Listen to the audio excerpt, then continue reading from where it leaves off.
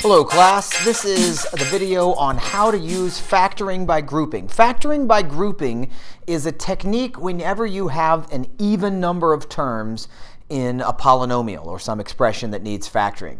So we can see right here in this first problem that we are having four different terms and that we should look to see uh, how factoring by grouping might help us here. So the key is to take things two at a time. Now, it is possible, and though not in any of the examples that I'm about to do, to have there be three at a time or four at a time, but that would be a really huge problem uh, that would be more difficult that we won't get to in this video.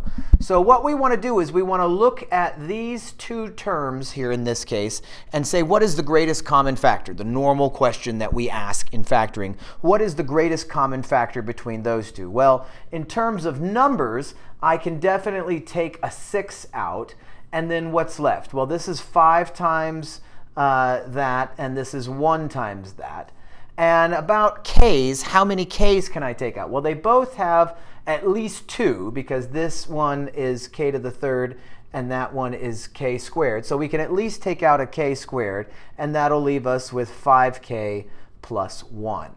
Now, over here, you might think there is nothing that you can take out. And from a certain perspective, that's true. But we have to take out something. And I'm trying to pick this particular example to show you what happens when there's quote unquote nothing you can take out. That we can always divide by 1, that factoring out something is kind of like dividing. So I'm going to call this taking out a 1, and in which case I'm left with still 5k plus 1.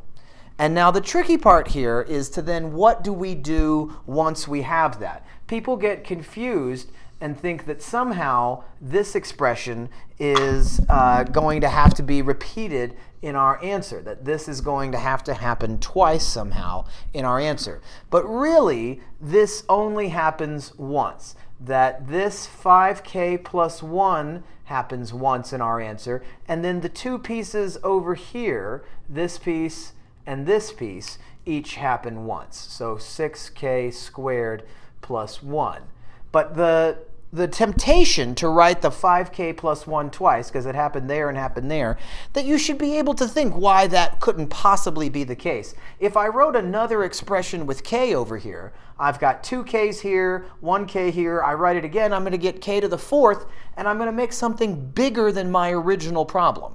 So that definitely can't be. So you should, you should definitely not think that that could be possible to include another term in your answer, that this does indeed factor to this way. Now, if we hadn't gotten the same expression in both parts of the parentheses there, then this wouldn't have been factorable with this technique, and we'd need to go some other way.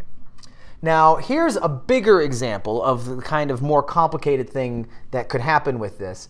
But again, we look and we see one, two, three, four, five, six terms. So I'm going to try factoring by grouping. Now, I don't see a pattern here of 3 and 3. And once we're up to six terms, that's something you need to consider.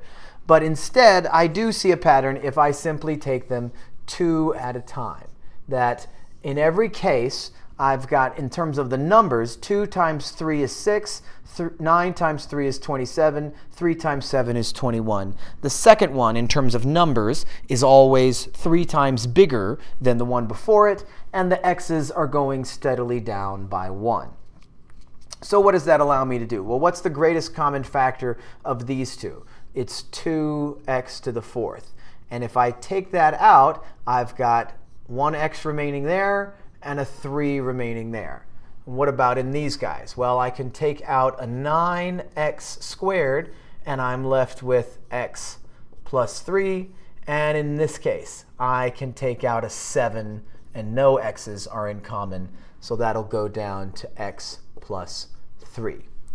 So you all see how this can uh, in the same way that both of these terms had a 5k plus 1. In this one, all three of the terms have a uh, x plus 3. So I'm going to grab, again, I'm going to grab these parts over here, and the pluses or minuses would matter a lot. I ended up with the same thing each time.